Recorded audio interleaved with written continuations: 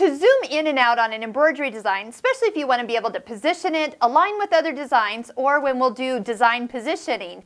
So when you touch the picture of the magnifying glass, zoom options comes up. So zoom to all means you're going to get the design as big as it possibly can on your screen here. Next, zoom to hoop. So if you have a hoop on your screen, it's going to show you those outside boundaries, letting you see all your available embroidery area at once. Now another thing that you can do that I love is zoom to box. So any of you have been using a computer, you know that if you kind of click and drag around an area, you'll zoom in on the box that you create.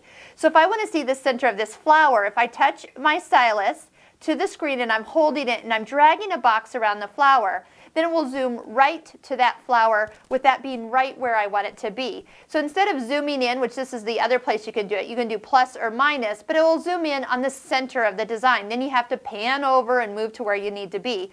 Once you're done with the area you're working with zoomed in or aligned up, the easiest way to go back is touch the zoom options and then zoom to hoop and that gets you all the way back out to where you want to go. So another thing you can do that plus or minus, so if I just touch it, you'll notice you'll go up increments of about 10% of the time, and you can really zoom yourself in there quite quickly. But again, if you want to be over here in this corner, use that feature that with the zoom to box. It's going to be a lot faster to use. We'll zoom out, zoom to hoop, so it's easy to go in and out to see an area of a design that you might want to connect another design to. For example, you can see that this would be really pretty if you did it one after another and you want to find a place that really kind of connects each other for the in the design position. So check out that video and we'll use the zoom options quite a bit.